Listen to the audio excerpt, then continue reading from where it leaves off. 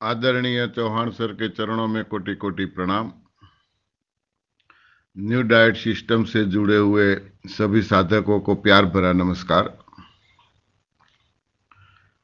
Myself Pandya Narhari north Gujarat Lakhani.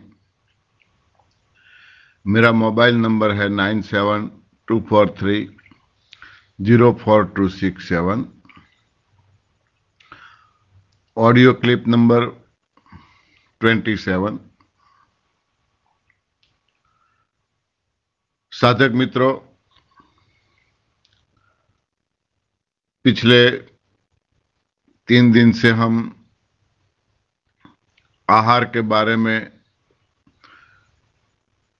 जानकारी हासिल कर रहे हैं।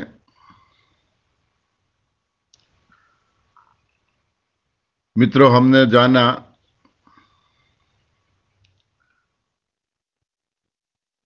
आहार का प्रकार।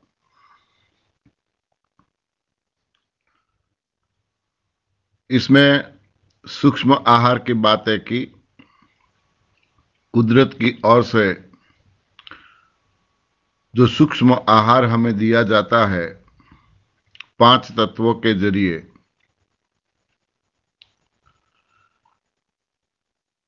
आकाश, प्रकाश, पृथ्वी, जल और वायु। बिल्कुल फ्री में मिलता है। जो जो सजीव सृष्टि पाँच तत्वों के ज़रिए आहार ग्रहण करती है, उनको जितना चाहिए उतना भरपूर मात्रा में मिलता है। जैसे सभी वनस्पतियाँ।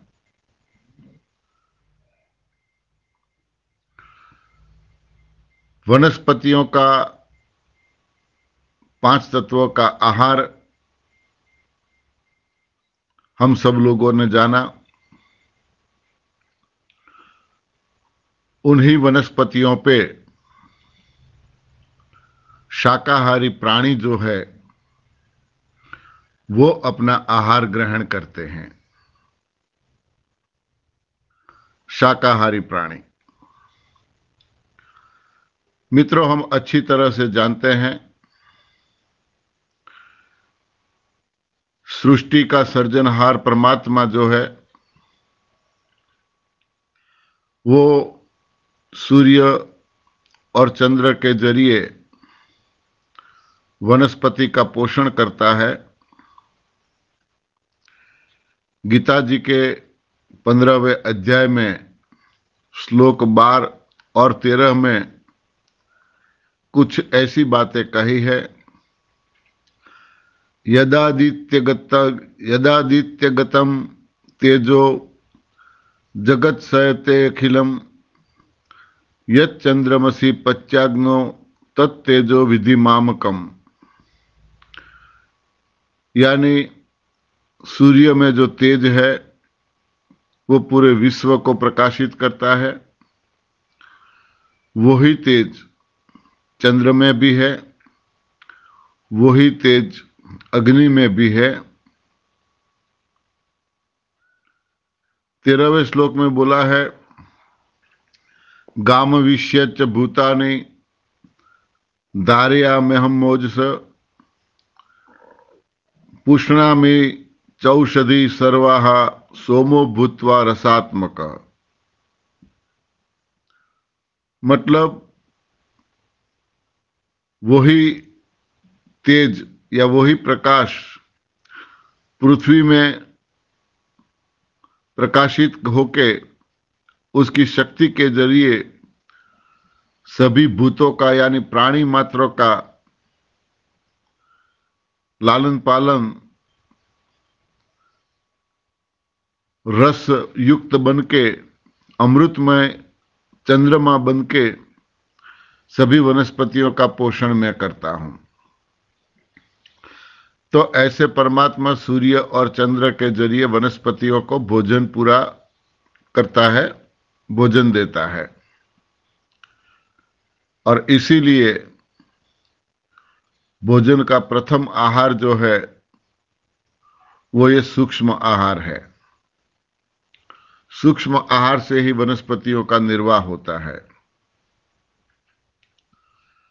तो जो शाकाहारी प्राणी है, वो वनस्पतियों को अपने भोजन के स्वरूप में लेते हैं।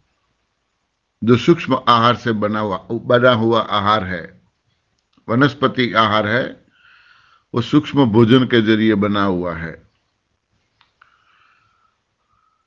शाकाहारी प्राणियों को वनस्पतियों के ज़रिए अपना भोजन प्राप्त होता है। वो दूसरे प्रकार के भोजन को ग्रहण करते हैं। वनस्पति है, वो प्रथम क्रमांक का भोजन ग्रहण करते हैं पाँच तत्वों के ज़रिए। शाकाहारी प्राणी हैं, वो वनस्पति का भोजन के रूप में ग्रहण करते हैं। यहाँ हम देखें, सूक्ष्म आहार के लिए वनस्पतियों को कोई प्रयास नहीं करना पड़ता है। और शाकाहारी प्राणियों को अपना भोजन ग्रहण करने के लिए प्रयास करना पड़ता है। साथ साथ वो आहार को पचाने की भी उनको ज़रूरत पड़ती है। उसमें से जो मल बनता है, उसको निष्कासित करने की भी मेहनत करनी पड़ती है।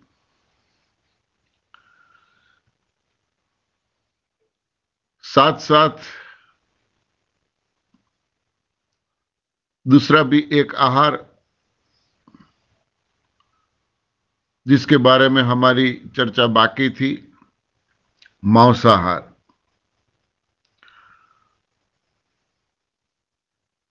शाकाहारी प्राणी भी है और मांसाहारी प्राणी भी है। कुछ प्राणी ऐसे हैं जिनको शिकार करना पड़ता है। उसके लिए उसे काफ़ी मेहनत करनी पड़ती है। शिकार के पीछे भागना पड़ता है।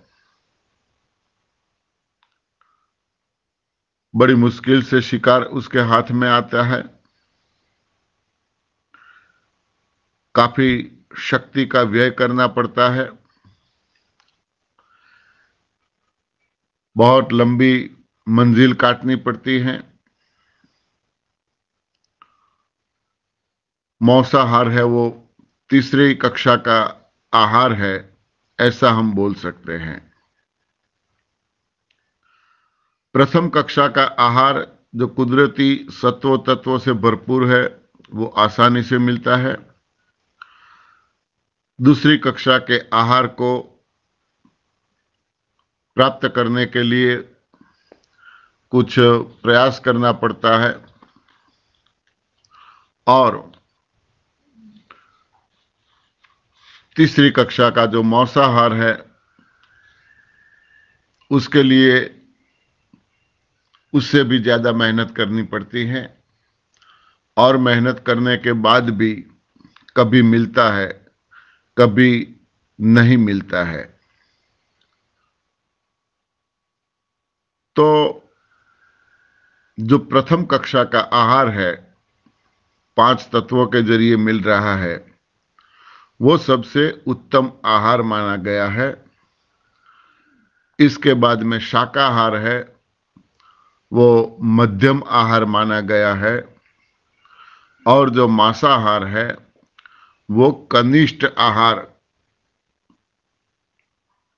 माना गया है। मनुष्यों के लिए शाकाहार है। फिर भी हमें यह समझना चाहिए कि सभी वनस्पतियों मनुष्य के लिए नहीं है। कुछ वनस्पतियों प्राणियों के लिए भी है और सभी वनस्पति सभी प्राणियों के लिए भी नहीं है। सब लोगों के लिए अलग अलग आहार की रचना कुदरत के ज़रिए की गई है। अनाज है, कठोल है, ये न तो प्राणियों के लिए है, न मनुष्य के लिए है। वो सिर्फ़ और सिर्फ़ पक्षियों के लिए हैं। हम लोग अच्छी तरह से जानते हैं, पक्षियों को दांत नहीं दिए हैं, उनको चांच दी है। वो अनाज को चबा के नहीं लेते हैं, वो साबुत दाना खा लेते हैं, मगर कुदरत ने इनके शरीर की रचना ऐसी बनाई है, वो अनाज इसका पाचन हो जाता है। उसके शरीर की डिज़ाइन ऐसी बनाई है। उसकी विष्ठा में, उसके मल में एक भी दाना नहीं निकलता है। पूरा निकल जाते हैं फिर भी। इसी तरह घास पशुओं का शरीर ही पचा सकता है। आसानी से इसका पाचन हो सकता है। फल है, मूल है कंदमूल है यह सब हमारा खुराक है। हमारा इंजन या हमारे देह की रचना कुछ इसी प्रकार बनाई गई है कि वही आहार का पाचन हम कर सकते हैं या आसानी से वो आहार का पाचन हो सकता है। कोई भी पशु पक्षी कुदरत ने उनके लिए जो आहार बनाया है, वो ही आहार यदि लेता है तो सरलता से उसका पाचन हो सकता है। गलत आहार लेता है या किसी दूसरे का आहार लेता है तो कभी इसका पाचन नहीं हो सकता है।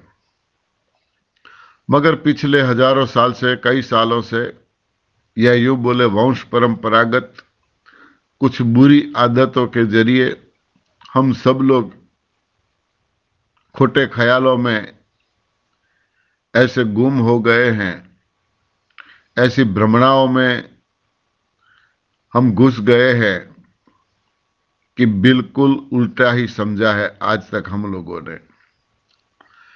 कई प्रकार की तर्क वितर्क दलीलें करने के बाद भी लोग समझने के लिए तैयार नहीं हैं। सच क्या है, झूठ क्या है? अच्छी तरह से हम जानते हैं, जैसा आहार, ऐसी डकार, जैसा अन्न, वैसा तन, जैसा अन्न, वैसा मन। ये सभी चीज़ें हम जानते हैं। फिर भी जानने के बाद भी उसमें बदलाव लाने की हम कोशिश नहीं कर रहे हैं और बिल्कुल गलत आहार आज तक हम लेते आ रहे हैं। यहाँ पर अच्छी तरह से हमें समझ लेना चाहिए कि सभी को जो अपना आहार होता है वो ही आहार लेने से न कोई रोग का सामना करना पड़ता है। उसको पचाने के लिए न कोई मेहनत करनी पड़ती है।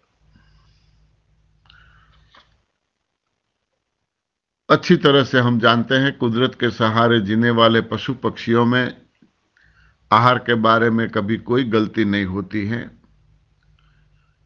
यदि गलती कोई करता है तो वो इंसान ही करता है। वो कुदरत ने अपने लिए जो आहार बनाया है, उसके साथ तो छेड़छानी करता है। मगर सभी पशु पक्षियों के लिए जो आहार है, उसको भी अपने भोजन में लेने का प्रयत्न उन्होंने किया है। जैसे कि मांसाहार, जो कनिष्ठ भोजन है, बिल्कुल। हाँ मांसाहार करने वाले पक्षियों, पशुओं और पक्षियों की रचना ही कुदरत ने अलग बनाई है।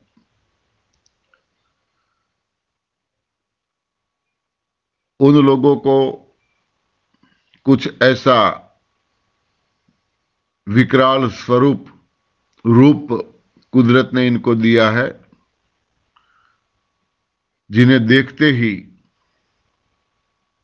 शिकार जो है वो लाचार होके वहाँ खड़ा रहता है या कई बार इनको सामने आना पड़ता है। जैसे शेर है हाँ, बाघ है चित्ता है इनका स्वरूप ही देखो कैसा है।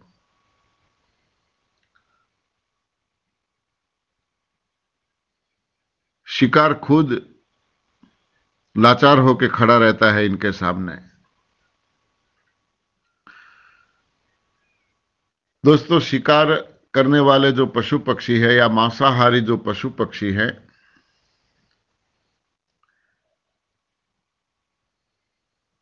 उनके देह की रचना ही ऐसी है। शिकार को उसे चीरना पड़ता है। तो इनको अपने नाखून की जो रचना है, वो बिल्कुल अलग है। हमारे नाखून देखो और शिकार करने वाले पशुओं के नाखून देखो। बिल्कुल अलग नाखून होते हैं उसके, क्योंकि नाखून के ज़रिए इसको चीरना पड़ता है उसके टुकड़े करने पड़ते हैं। इसी तरह दांत देखो, हमारे दांत और उनके दांतों में, या दूसरे पशुओं के, जो शाकाहारी पशु है, इनके दांत और शिकारी पशु है, इनके दांत दोनों के दांतों के बारे में आप देखो तो बिल्कुल दांतों की रचना भी अलग है। क्योंकि मांसाहार एक ऐसा आहार है, उसको चीरने के लिए, उसको काटने के लिए ऐसे नाखून और दांतों की ज़रूरत पड़ती है। इसके पाचन के लिए भी भोजन के अनुरूप इनके अवयव जैसे जठर है, आंते हैं, इन सब की रचना अलग से की गई है। ऐसे भोजन के लिए इनको काफ़ी मंजिल काटनी पड़ती है। इनको पग दिया है। शिकार करने के बाद उसका बंटवारा हो जाता है। शिकार किसी एक ने किया है, दूसरे लोग उसमें आ जाते हैं। तो थोड़ा गुस्सा इनको दिया है। कुछ मामूली लड़ाई झगड़ा होता है इन दोनों, इन लोगों के बीच में।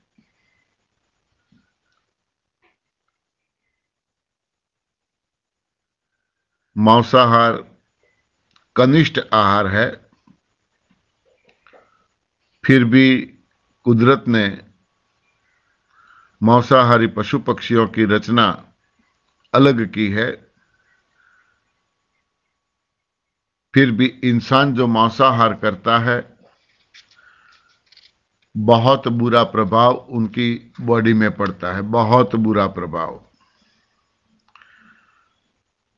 तो दोस्तों, कहने का मतलब यह है, कुदरत ने इस पृथ्वी पर 84 लैक्स पशु पक्षियों की रचना की है 84 लैक्स पशु पक्षियों की रचना। और सभी पशु पक्षियों के लिए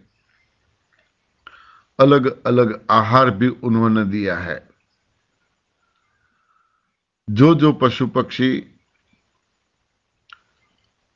कुदरत के दिए हुए अपना ही आहार का भोजन करता है, उसमें कहीं पर कोई बीमारी नहीं है, कोई बीमारी नहीं है। एक इंसान ही ऐसा है, कुदरत के विरुद्ध जाके न सिर्फ़ अपना भोजन, बल्कि सभी पशु पक्षियों का भोजन लेता है। न सिर्फ़ पशु पक्षियों का भोजन लेता है, बल्कि मैं तो यूँ कहूँगा, सभी पशु पक्षियों को भी अपने भोजन में उन्होंने स्वीकार कर लिया है। अपना भोजन बना लिया है। सभी पशु पक्षियों को भी भोजन बना लिया है। तो इसका परिणाम क्या है? वो हम अच्छी तरह से जानते हैं। कुदरत के सहारे जीने वाले पशु पक्षियों में कोई बीमार नहीं है। और सिर्फ़ और सिर्फ़ इंसान ही बीमार है। तो दोस्तों, आइए हम अच्छी तरह से समझें हमारा आहार क्या है? कैसे इसको लिया जाए? कब लिया जाए? तो कभी हम बीमार होने वाले नहीं हैं। पाँच तत्वों के आधारित हमारे एनडीएस में जो समझाया गया है इसी प्रकार का हम भोजन लेंगे। सुबह में उठते ही उपवास आठ घंटे का। इसके बाद में हरी पत्तियों वाला जूस। इसके बाद में फ्रूट जूस या फ्रूट खाए। सलाद खाए या उसका भी जूस बना लें।